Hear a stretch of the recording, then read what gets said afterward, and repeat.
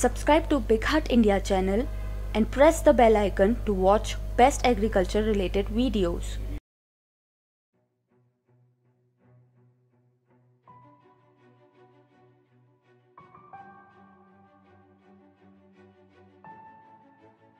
Thrips are a major problem in greenhouse horticulture.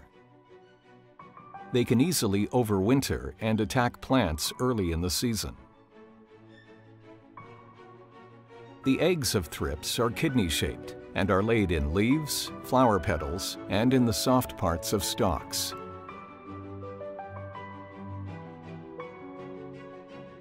Before a female deposits an egg, she first makes an opening in the plant tissue. After hatching, the larva immediately begins to feed on plant tissue.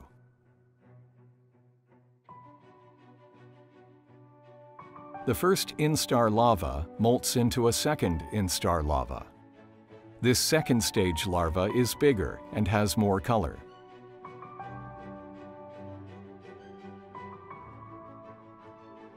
At the end of the second instar, the larva usually falls to the ground to pupate. Pupation occurs in natural crevices in the ground or lower leaf surfaces. The prepupal and pupal instars are recognizable by their developing wing buds. The adult thrips has a fully developed pair of fringed wings.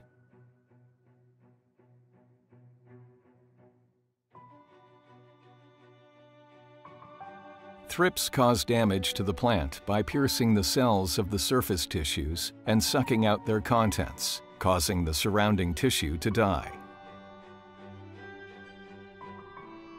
The resulting silver-gray patches on leaves and the black dots on their excreta indicate their presence in the crop. Thrips are also responsible for the transmission of viruses. Luckily, they can be controlled by a range of natural enemies.